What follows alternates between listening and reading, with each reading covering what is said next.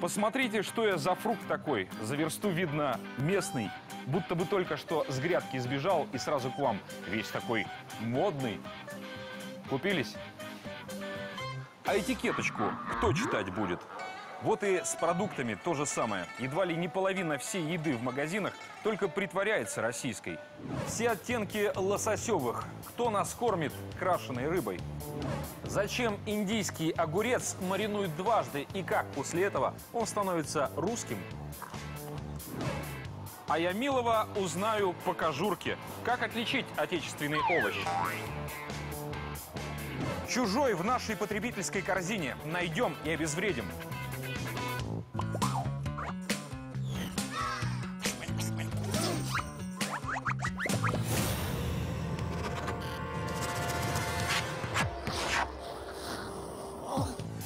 Покупатели, любим ушами. Скажи нам, что клубничка местная, совхоза имени Ленина, огурчики луховицкие, а помидоры краснодарские. Обязательно клюнем, потому что с детства знаем. Местные значит хорошие, надо брать. И продавцы с детства знают, что мы купимся и купим, а отличить наши продукты от импортных все равно не сможем. Вы сможете? Уверены? Хорошо, предлагаю игру. Найди пришельца. Перед вами 10 продуктов. Маринованные грибы, огурчики в банке, консервированные томаты, семга малосоленая, консервированная кукуруза, консервированный горошек, яйца, морковь, яблоки и фиолетовый лук.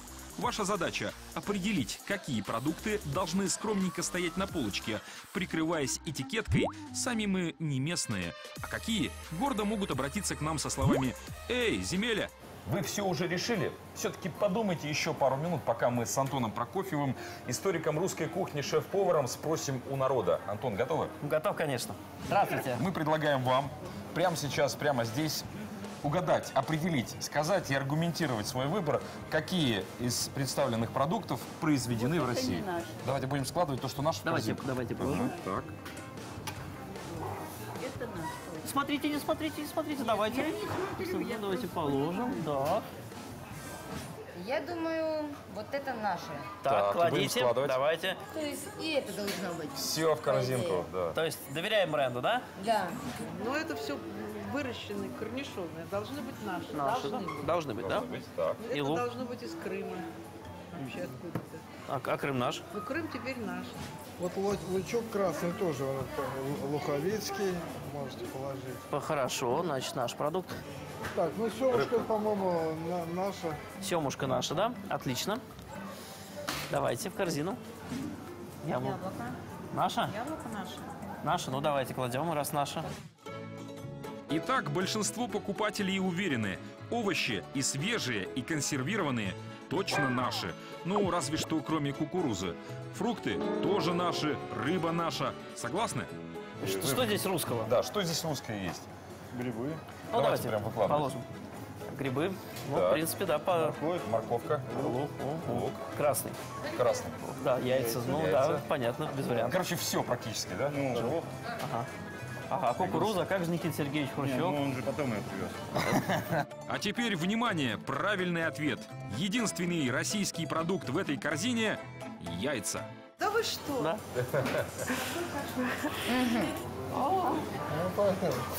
Я не знаю, что покупать. Ну, яйца, да. За яйца гордость берет. Если вы хотите найти на прилавках действительно русские продукты, смотрите внимательно. Например, яблоки. В России такие сорта не растут. Это, скорее всего, чилийский, конечно, потому что сейчас их активно стали выращивать в Латинской Америке. Наши сорта, такие как Белый налив, Семиренко, Антоновка, э, Штрифель, Слава Победителю, Богатырь, э, к сожалению, проигрывают международным корпорациям, ну, потому что без применения высоких технологий воскового напыления. Фиолетовый лук. Визитная карточка Ялты. Ну, признайтесь, вы же тоже так подумали? Часто покупатели покупаются на э, эту манипуляцию. Ялтинский лук, он длинненький и чуть вдавленный и плоский. А этот, конечно, видно, что это продукт современных технологий, жарких стран, горячего песка и тру- трудолюбивых смуглых рук. Поэтому, к сожалению, не наш. Горошек, как и кукуруза, тоже родом из-за границы, несмотря на типично русские бренды. Сейчас модно делать акценты на патриотические темы. Понятно, да. повелась. Да, естественно, это работает. Консервированные помидоры почти все покупатели положили в корзину к нашим продуктам. Но и это неверно. Э, у нас, конечно, есть теплые края. Но даже там солнца недостаточно для того, чтобы так массово выращивать помидоры такого качества и по такой цене, чтобы конкурировать с итальянскими производителями. Яйца в нашей потребительской корзине это как свой среди чужих, чужой среди своих. Никто из наших посетителей так и не смог дать правильный ответ. Скажите честно, а вы тоже наверняка не ставили 9 к 1? Спасибо огромное, Антон, вам. Спасибо вам большое. Удачи. Всего доброго. До свидания. Еще больше, чем продукты, русскими притворяются готовые блюда. Ну, например, винегрет. И салат, и само название французские. Правда, где-нибудь в Париже, если вы закажете винегрет, то вам просто принесут соус из растительного масла, уксуса и горчицы. Селедка под шубой – скандинавская история. Да и вообще, салатов никогда не было на Руси. Закуски всегда подавались по принципу раздельного питания. Отдельно рыбная, отдельно овощная. Ну и любимая русская закусь – грибы. Я необычный потребитель. Далеко за грибами ехать лень. Я попробую найти их прямо в Останкинском парке. Ну а вдруг? О, а я, оказывается, не, не один здесь грибник такой. Здрасте, Михаил. Здравствуйте. Михаил Вишневский не просто там какой-то грибник, один из ведущих микологов России, Ну, правильно? Ну ладно. Дим, вот смотри, палочка у тебя, корзинка. Ты как-то и не по сезону, и не по месту. Если ты не знаешь четко прямо, где торчат лично твои сморчки и строчки, что ты делаешь сейчас? А я вишки и корешки еще. Ну, не знаю, не знаю. Как по мне, то это совершенно пустое занятие. А мне кажется, не зря. О, смотрите, Вот это да. опятки родные наши, Ты опята. посмотри. Уже ну, в банке сразу. тебе. Ну, смотри, сорвал плохо, ножка грязная, конечно. Подожди, как ты назвал их? Опята? Не опята разве? Ну, посмотри внимательно, какие же это опята. Это китайский гриб, который называется японским названием намеко. Китайский, потому что из Китая к нам приходит. Намека. А Намека. Это случайно название не с намеком, случайно не обман переводится с японского? Нет, тут игры слов, конечно, нет. Переводится это примерно как «скользкий гриб». Ага. А как можно отличить э, вот этот самый скользкий гриб от э, нашего русского опенка? Посмотрите, ярко-оранжевая шляпка. Разве наши опята бывают ярко-оранжевые? Если в банке лежит наш нормальный осенний опенок, у него светло-серая ножка, а не эта бледно-желтая. У него бежевая или серо-коричневая шляпка и темные пластинки. Они опять-таки светлые, как здесь. Так что это гость из Китая. И, в принципе, конечно... Ну, нельзя сказать, что он Вы прошли несъедобный, уже. по крайней мере, Ну, в засолке им бренать. Давайте По крайней мере, тоже находка, правильно? Ну, так или иначе. О, смотрите, а я еще и, по-моему, грузди Так, нашел. так, так, так. Грузди, Грузди. наши родные русские грузди. Ну что же, если это груз, то я балерина. Дима, никак не грусть. Посмотрите, это? вот такая вот коричневая, такая мелкая и совершенно не мохнатая штука по сравнению с нашим огромным, чисто белым, А что это? мохнатыми Что краями, это, если, шляпкой груздем. если не грудь? Это еще один китайский гость, который называется шиитаки. Шиитаки. Шиитаки. А я где-то читал, Михаил, что, оказывается, шиитаки, вот те самые китайские друзья наши, они якобы улучшают, повышают, укрепляют мужскую силу, что называется. Слышали про Да, такое? китайские императоры этим баловались, но это были совсем другие шиитаки. Это были шиитаки, которые выращены в дикой природе или собраны там. И они стоят в тысячу и даже больше, чем в тысячу раз, чем те, которые выращиваются для пищевых целей. Дикие шиитаки стоят ой как дорого. Их подают в дорогих ресторанах, а еще в аптеках. Делают из них БАДы от всех болезней, даже якобы от рака. Но это, конечно, вранье. А вот эти шитаки, консервированные в банке, двойное вранье. Во-первых, эти шитаки ничем не полезны. А во-вторых, нам их вообще продают под видом родных груздей. Поэтому мы взяли энциклопедию грибника и пошли искать правду к производителям. Вас на- именно наши грибы заинтересовали? Да, конечно, именно ваши грибы. Вот. Можно Поскольку главное, грибы вас заинтересовали? потому что это не грузди. Это шиитаки. Это обман потребителя. Вот знаете, это э, писать желтое, а на самом деле это Я фиолетовое, поняла, понимаете? что вы считаете, что это не грузди. Вот, пожалуйста, как должны выглядеть грузди? Тут Ну, то есть здесь специально, внешне видно, понимаете, видно, да? Специально есть, купили энциклопедию, чтобы Я вы вам честно скажу, видели, я, как они выглядят. ну, давайте Я тогда в к вникать, тому я специалисту. У вас есть специалист по качеству? Есть такие. Давайте. Вот позвоним ей. ситуация такая, что... То есть у вас нет Ну, специалиста, который отвечает за вопрос качества сейчас? На месте сейчас нет. Директора нет, специалиста по качеству нет, технолога тоже нет. Но все по телефону консультируют юриста компании Наталью, как грамотно отбиться от назойливых журналистов. Сейчас, Сейчас мы вам не можем ответить. То есть мы э, оставляем за собой право называть вот вас мошенником в данном случае, поскольку вы заменяете один товар другим. Знаете, Это мошенничество. Право называть кого угодно и как угодно есть у всех. да? Ну, хорошо, так и оставим тогда эту ситуацию. Очень жаль просто, на самом Я деле. не видела вашего заключения, я не видела, кто вы. Да, неважно, кто я, я потребитель, я купил эту банку, я как личный вот э, просто потребитель лицо. Забудем, что я ведущий. Ну, если я пришел к вам. Потребитель, я предлагаю убрать камеру и разговаривать. Не, а я все время хожу, с, меня снимают, не вас, а меня. Так вот, я купил эту банку в магазине, пришел по, меня не устроило Ну, обычный качество. потребитель, начнем с того, приходит. Я необычный потребитель. Так, Да. то есть вы уже необычный Ну, потребитель. я не совсем обычный потребитель. Так вот, я пришел по адресу, который указан на а, значит, э, продукте. Я вам заявляю, что это не грузди. Меня вводите в заблуждение. Вы как производитель, если это ваша банка. Так вот, нормальная ситуация, я пытаюсь разобраться. Понимаете? Вот и все. Сходу разобраться с подделкой не удалось. Теперь пусть разбирается Роспотребнадзор. Мы направили жалобу. И вы тоже жалуйтесь, если видите, что вас откровенно обманывают. Только что мы выяснили, если на этикетке крупно написано «русское», это вовсе не значит «сделано в России». И уж тем более не значит «сделано из российского сырья». Но есть в природе такие потребители, которых никакой этикеткой не проведешь. С одним из них я вас сейчас познакомлю. Морскому льву Тиму 4 года. Он умеет виртуозно подбрасывать и ловить мячик, крутить обруч на шее и хлопать в ласты, требуя аплодисментов. Как настоящий артист, Тим очень привередлив. В его райдере первым пунктом стоит рыба. Причем не какая-то, а только океаническая.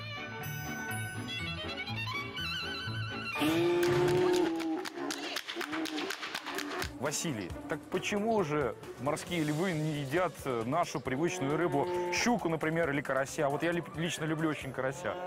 Это потрясающая рыба, но это же северные животные, океанические животные. Ну и, Логично. конечно же, будут есть, безусловно, только морскую и океаническую рыбу. Окей, вот морская рыба, отечественная. Ментай, наш, наш родной ментай, который мы любим. Он, правда, немножко растаял, пока к вам ехали. Ну, вид, Что честно, скажешь? у него не аппетитный. Ну, Но мои животные, я им никогда такую рыбу не предложу. Я им никогда такую рыбу не предложу. Я им никогда... Ну и более того, я не думаю, что они ее съедят. А Я- как вы обычно подбираете рыбу? Вот я вижу, у вас своя какая-то рыба. Я скажу, как подбираем. Да. Как? Какая более аппетитная, твоя или эта?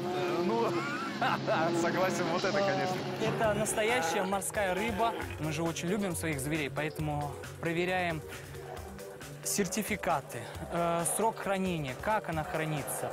Смотрим, где мы ее покупаем, где ты ее взял. Э, ну, вот тут давай пос- посмотрим, что тут, кстати, написано. Так, э, производитель, продукт хлада. Я вижу Сергиев Посад. Московская Я- я- область. Я знаю, там Сергиев Посад. огромный океан. При покупке замороженной рыбы смотрите на этикетке две надписи, где выловлена и где упакована. В идеале это должно быть одно и то же место. Но не для моих животных. Я не знаю, где производят и как ее там делают. Слушай, И где отловили в Сергиев Посаде такую замечательную рыбку. хороший вопрос, откуда берется и кто фасует эту рыбу. Хороший вопрос, мы его зададим и адресуем эксперту. Мы показали нашего ментая ихтиологу Павлу Терентьеву. Он выращивает рыбу своими руками и точно знает, нигде в Московской области живого ментая нет и быть не может. Все это продукты, продукты естественного рыболовства. То есть рыбу поймали в море или океане, но это совсем не значит, что она свежая и полезная. У нас, например, в Москве нет никаких возможностей привозить морскую рыбу в живом виде. Ну, я вам скажу так, что, в общем-то, для того, чтобы просто забить траулер, вот, нужно как минимум где-то месяц. Ну окей, не свежее, замороженное, ну и что с того? Разморозил вроде бы и корми хоть людей, хоть морских котиков. Только вот животные не едят такую. Почему? Об этом расскажет повар рыбного ресторана, который и людям-то этого ментая готовить не станет. Покупая такую рыбу, мы покупаем кота в мешке, потому как филе вот это обрабатывается не так, как нам бы хотелось. Думаете, китайцы аккуратно вытаскивают из филе каждую косточку? Ошибаетесь. Они так не заморачиваются. Рыбу просто кладут в раствор кислоты. Она разъедает кости. Дешево и сердито, но это еще не все китайские секреты. Когда рыбу замораживают, ее вымачивают э, в так называемых фосфатах. Рыба приобретает такую пористую, рыхлую структуру, которая могут, может впитать э, огромное количество воды. И после разморозки э, эта рыба теряет практически иногда до 50%. Конечно, все эти кислоты, фосфаты и реагенты морской лев есть не станет. А мы покупаем, едим и не жалуемся. И ладно бы, если все это только рыбы касалось. Но не тут-то было. Знаете, что общего между маринованными огурцами и летней резиной? Хлорид кальция. В резину его добавляют для прочности, а в огурцы для хруста. Как вы считаете, это нормально?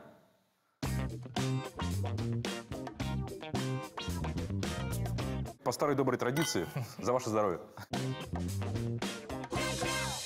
Здравствуйте, Шаген Разменович. Здравствуйте, Дмитрий. Но это все-таки миф по поводу э, хлорида кальция или это Нет, действительно так? это не миф, это действительно рекомендация, э, которой э, технолога э, придерживается при изготовлении э, соленых огурцов.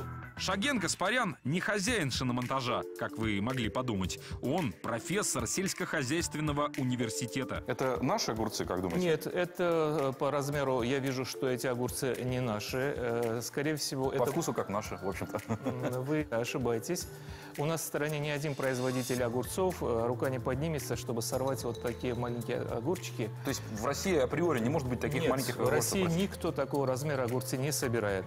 Так, Этот сколько? огурец, скорее всего, здесь будет в районе 5 сантиметров. Семь. Семь Семь санти- получилось. 7 сантиметров – это или китаец, или индус. Такой огурец везли по океану пару месяцев в бочке с серой и уксусом. Потом вымачивали неделю в чистой воде, а потом заново мариновали. Я правильно понимаю, что они менее полезны, чем наши, скажем так? Естественно, естественно. То есть остается только внешний вид огурца. Это э, видимость. Пустышка такая, да? Пустышка, можно сказать. Наш огурец не меньше 10 сантиметров. Вот эти точно похожи на наши. Давайте И попробуем. окончательно э, можно убедиться в том, если вот попробовать вкусовые качества. Присоединитесь ко мне. Да, с удовольствием. Слушайте, у них даже запах другой. Да, да, отличается. Даже запах другой, пахнет укропом. Не уксусом, как Да. тех. а Эти пахнет- огурцы действительно, эти огурцы сохранили... Ну э, давайте, по старой доброй традиции, за ваше здоровье. За ваше тоже. Вкусно. Спасибо огромное, Шагин Лазгенович. Пожалуйста, рад был вам Да, помочь. удачи вам. Спасибо, до свидания. Ребят, что там, готова машина-то моя, нет? Не было никакой машины у нас. Как не было? Так, не было. Да? Ну, не было, как не было. Пойду пешком.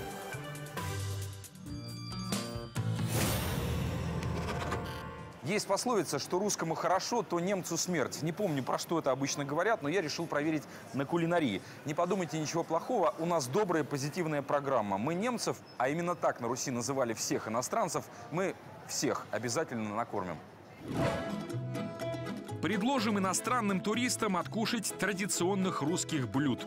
Банкет за наш счет, поэтому ну кто ж откажется. Итак, три подопытные пары. Азию представляют корейцы Ким и Анвар, Европу голландцы Махил и Ремко, Африку Жузе и Фабию, Австралию и Новую Зеландию никто не представляет, потому что я и сам не представляю, где их взять. Итак, для начала окрошка. Что это? Ой. Крошка. Можно попробовать? Да. Да? Да? Хорошо. М, Как э, sour, как по-русски. Кислый. Кисло. Нет. Кисло?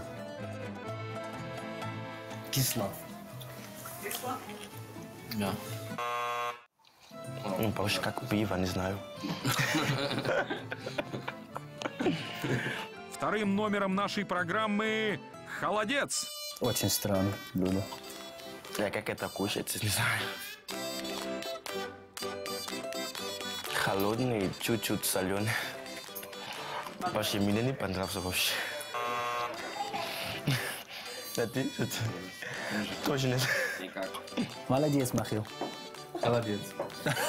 Это хорошая шутка. Это хорошая шутка. И еще одна смена блюд. Как называется? Сало. Салон.